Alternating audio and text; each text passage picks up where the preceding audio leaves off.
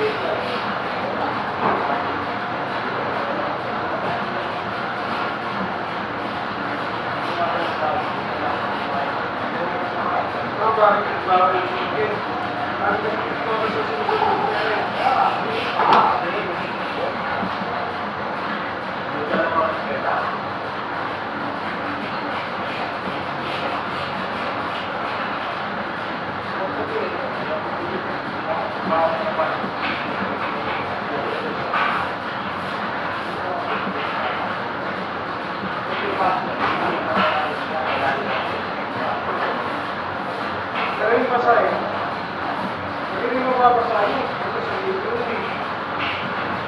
Sa English.